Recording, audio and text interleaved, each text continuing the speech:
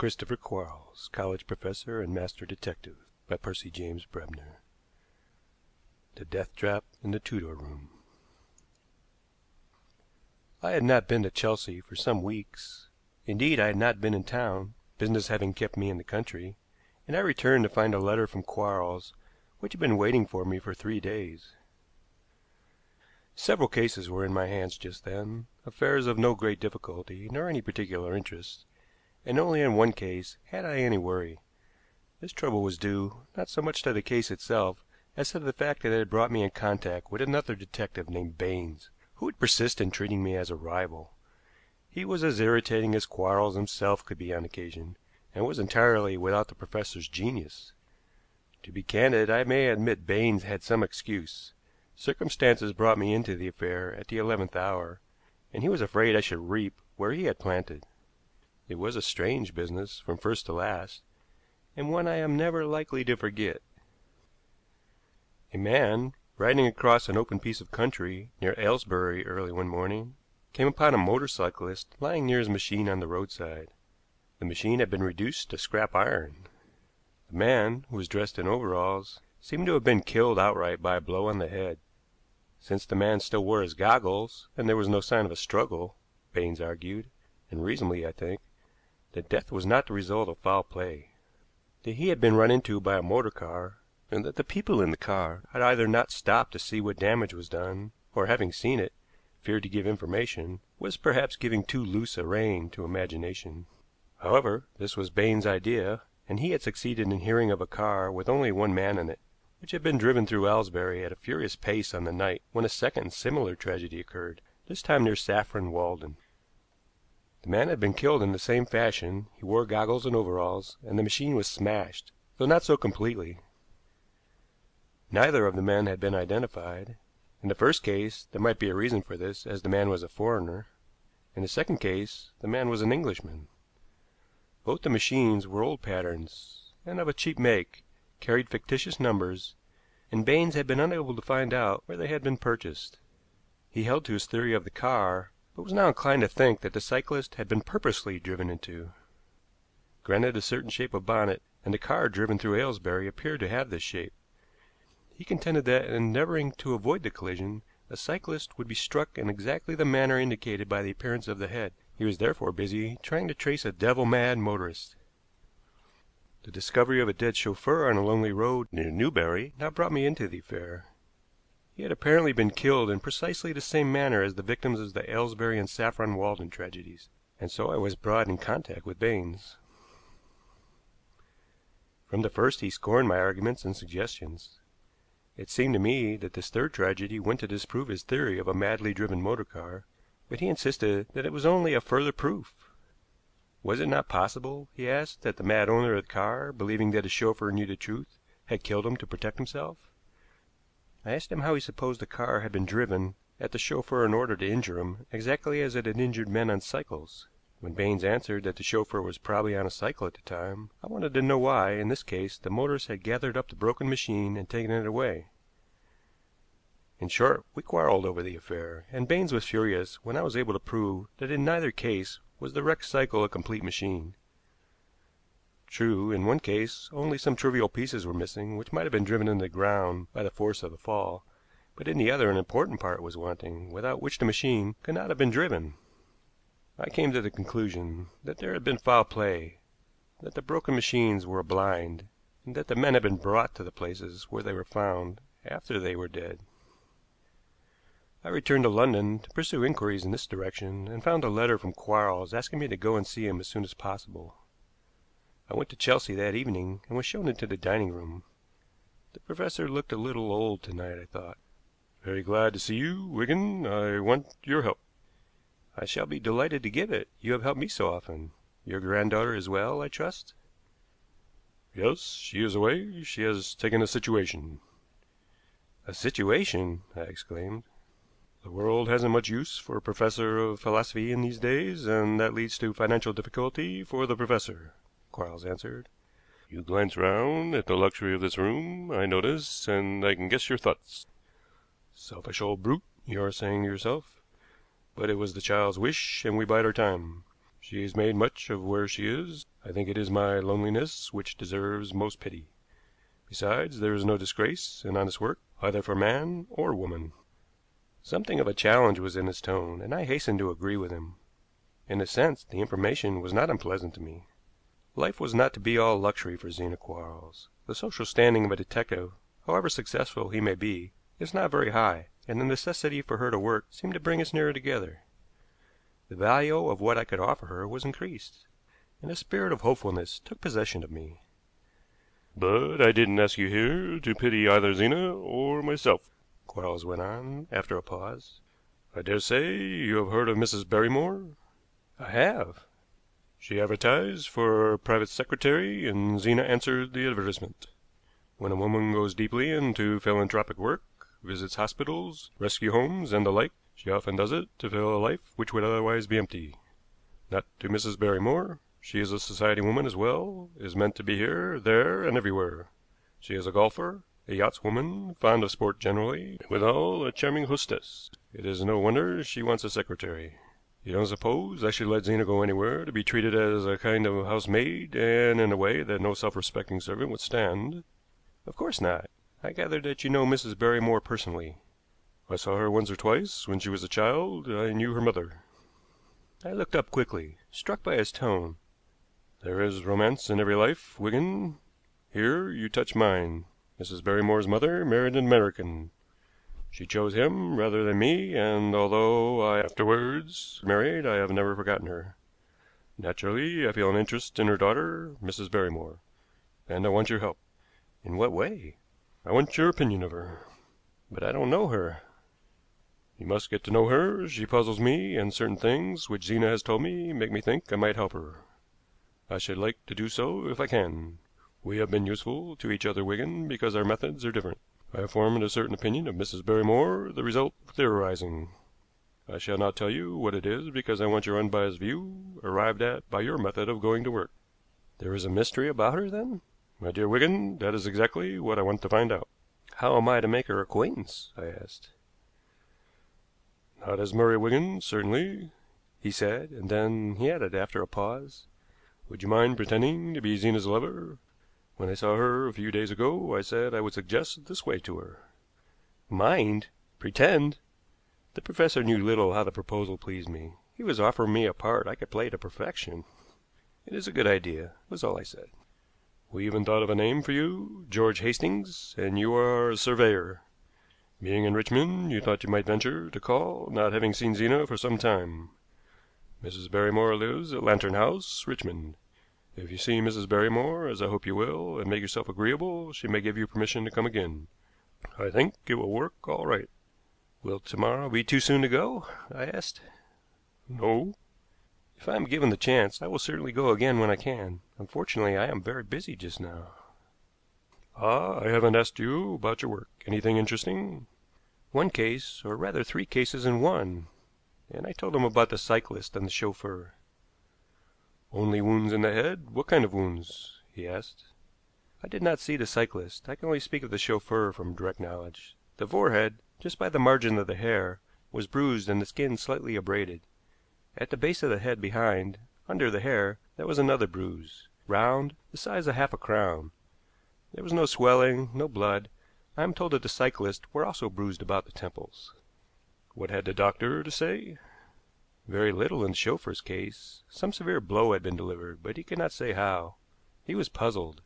When I suggested the man might have been run down by a car, quoting Baines's idea, he said it was a possible explanation. He said so, I fancy, merely because he had no other suggestion to offer. And the man's face, Wigan? If a man could see death in some horrible shape, and his features become suddenly fixed with terror, he might look like the chauffeur did, I answered. He has not been identified either? Not yet, but I'm hoping to trace him. Have you thought of one point, Wigan? said Quarles with some eagerness. He may not have been a chauffeur, nor the others cyclists. They may only have worn the clothes. It is possible, I returned. His hands had done manual work, but not of an arduous kind. There were curious marks on the body, a discoloration under the arms, and the skin somewhat chafed. Also, on the outer side of the arms, there were marks just above the elbows. depressions rather than discolorations. A rope bound round the body might have produced the latter.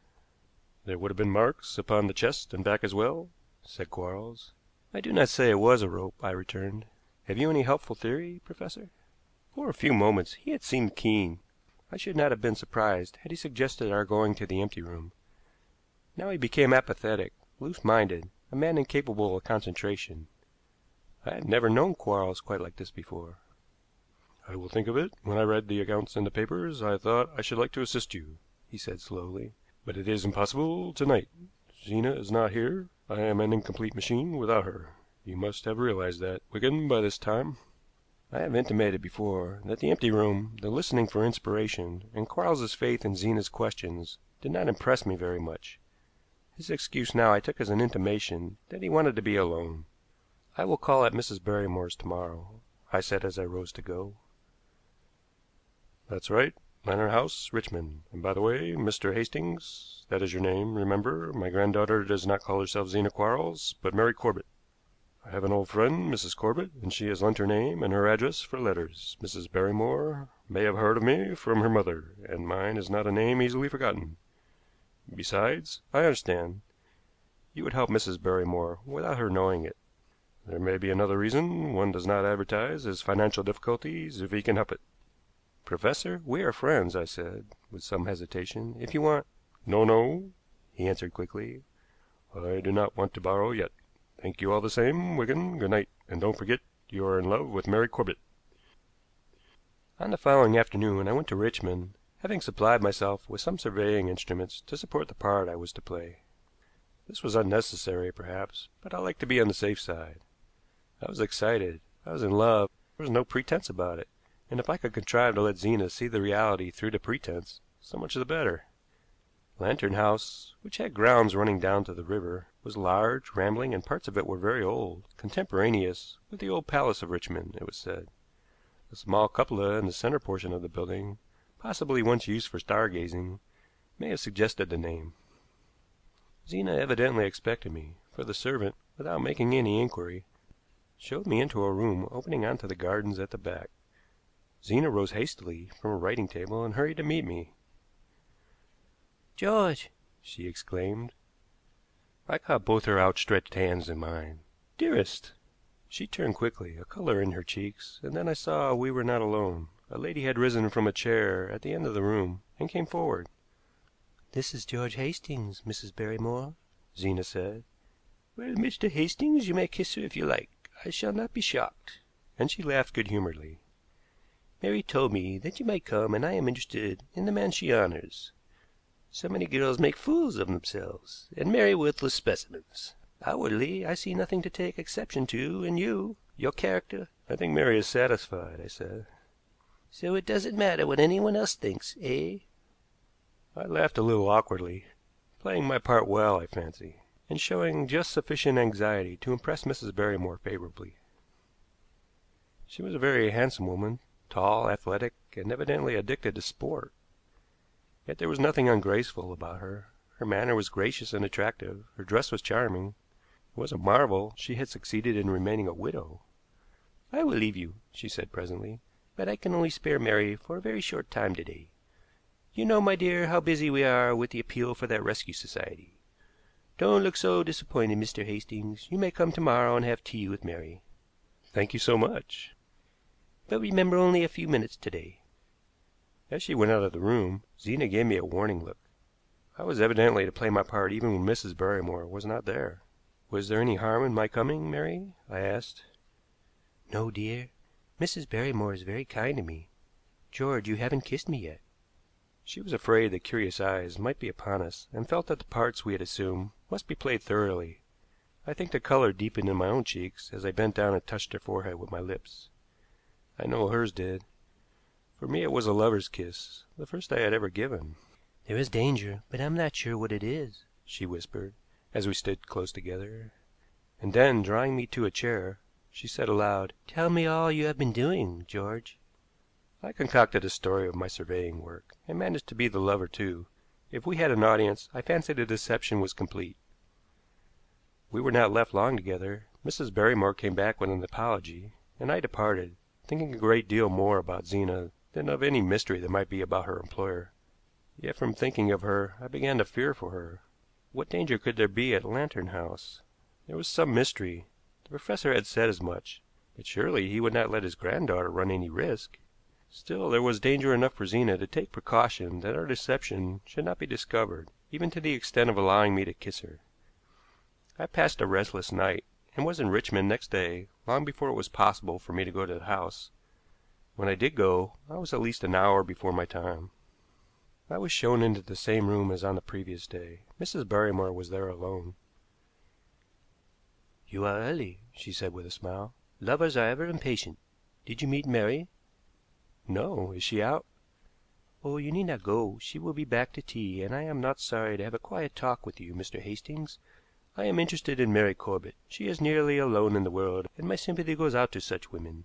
I have worked a great deal for societies, dealing with women's status and employment, and am most anxious to see a revision of the laws, which at present press too heavily on my sex. Come, tell me all about yourself, your present position, your prospects, everything." The story I told her would not have done discredit to a weaver of romance, and she was so sympathetic a listener that I felt a little ashamed of myself for practicing such deception. "I think I am satisfied," she said at last, "and I judge you have a soul above the mere commercial side of a surveyor's business, that the beautiful has an appeal to you. Do you know anything about this house?" "I believe part of it is old," I said. "Very old," she returned. "I like modern comforts, but I love the old things too. We have a few minutes before tea and Mary's return. I will show you the old part of Lantern House if you like. I have tried to give the rooms their original appearance, and am rather proud of my achievement." She was giving me an opportunity which I could hardly have expected, a chance of seeing something which would give me a clew to the mystery concerning her. I might have known better what to look for if only the professor had been more explicit. Talking pleasantly, calling my attention to a view from a window, or to some unique piece of furniture, Mrs. Barrymore led me through several rooms, the contents of which told of the wealth and taste of the mistress of the house. "I only use the old rooms on great occasions," she said, as we passed from a small boudoir into a dim passage. "I have thought of letting the public see them on certain days on payment of a small fee for the benefit of some charity, but I have not quite made up my mind. It would cut into my privacy a little, and in some ways I am selfish. There are two steps down, Mr. Hastings." She had opened a door and preceded me into a room. Tudor in its construction, Tudor in its contents, at least I supposed the contents were all in keeping, but I had not sufficient knowledge to be quite definite upon the point. The effect, if somewhat stiff and severe, was pleasing. "A Philistine friend of mine complains of the somberness," said Mrs. Barrymore, "and wants me to have the electric light here as it is in the rest of the house. Fancy Henry VIII wooing his many wives under the electric light! Why, they would almost have seen what a villain he was. Sit down for a moment, Mr. Hastings, and imagine yourself back across the centuries. It was just such a chair as that which the fat king used when he talked statecraft or divorce with Wolsey." She seated herself by the table, and I took the chair she indicated. Never did blind man walk into a pit more unsuspectingly. The seat gave under me, half a dozen inches perhaps, setting the hidden mechanism to quick work. My ankles were gripped, the arms closed across me, pinning me securely just above the elbows, and a bar shot under my chin, holding my head rigidly against the back of the chair.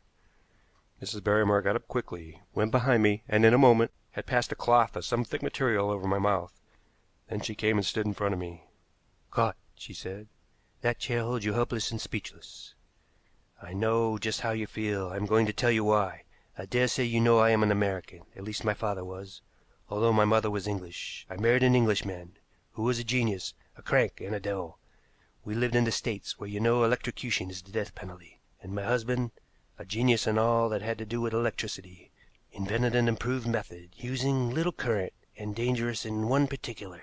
It is impossible to tell how the victim has died. He was so pleased with his invention he would not make it public.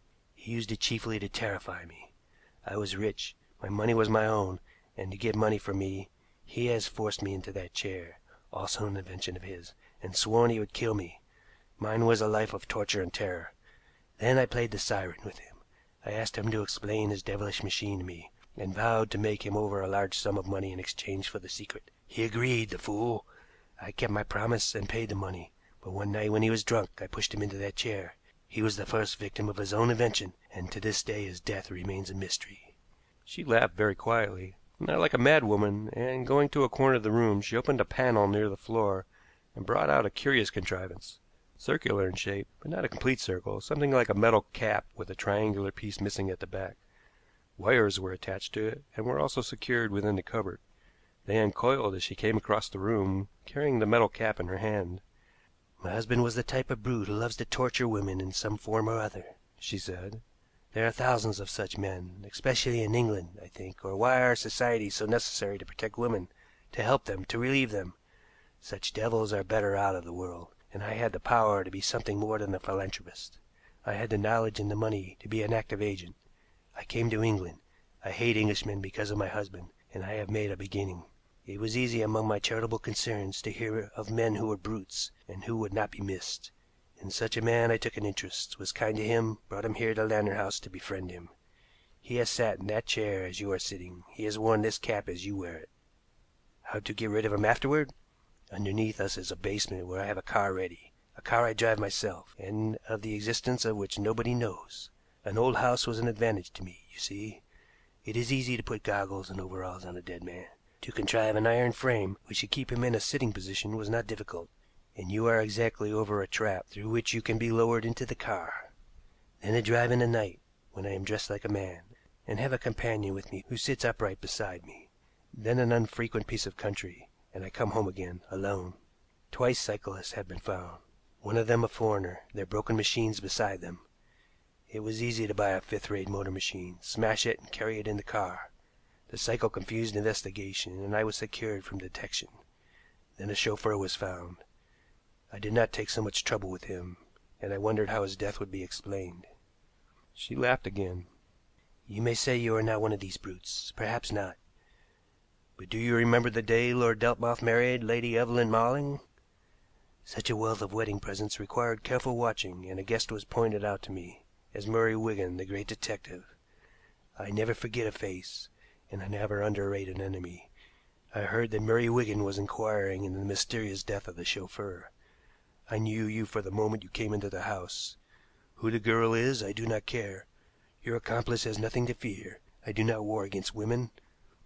I send her to London. When she returns she will learn that you have been and gone. You will be found, Murray Wigan, sixty or seventy miles from London, and since death by this method draws the features strangely, it is doubtful if you will be identified. You were clever to get upon my track, but you pay the penalty. The perspiration stood out heavily upon me. Fear gripped me, and I was helpless. Yet even in this supreme moment, even when this fiend of a woman fitted that horrible metal cap upon my head, I remembered the marks upon the dead chauffeur. He had been electrocuted as I was to be.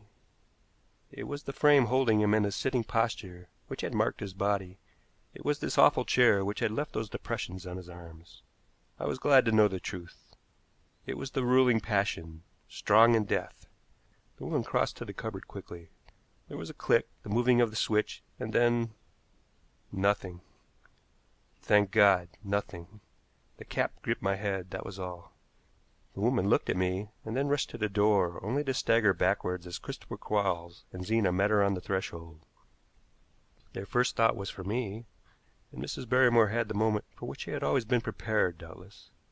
The poisoned pilule had been concealed in the signet ring she wore, and in a few moments she was lying dead in that horrible Tudor room. That Mrs. Barrymore had invited me to come to tea on the following day, when there was no reason why I should not have stayed then, had aroused Zena's suspicions, and she had watched Mrs. Barrymore's every movement. Until then she knew nothing of the secret of the Tudor room, but she saw her employer go there and examine the cupboard. In the night Zena went and examined it, and destroyed the current by rendering the switch ineffective. Every day since Zena had been at Lantern House, Quarles had met her in the grounds. Of course, she had not gone to London that day, but had met her grandfather, and they had entered the house together, unseen. They would have been in time to prevent my going through that horrible ordeal had I not arrived an hour before I was expected. You had no right to let Zena run such a risk, I said to Quarles. You ought not have sent her to Lantern House to test your theories. She ran no risk, was his answer. It was only against man Mrs. Barrymore fought. I am sorry you had such an experience, Wigan. I never supposed she would attempt your life, did not imagine she would know who you were. Indeed, I was doubtful of my theory altogether. When the first cyclist was found, I suspected electrocution in some form, and the other two cases went to confirm this suspicion. I knew something of Barrymore, a hateful brute, but a genius, and I knew his wonderful knowledge of electricity. His death must have been a relief to his wife, and the manner of it made me suspicious of her. He was found on a lonely road, miles away from his home in Washington, and no one could tell how he died. Was it remarkable, I should wonder, if Mrs. Barrymore were responsible for the crimes here? And I would have saved her if I could, for the sake of her mother. If I could have done that, Wigan, you would have got no theory out of me in this case, and your friend Baines might have gone on hunting for his mad motorist for the rest of his days.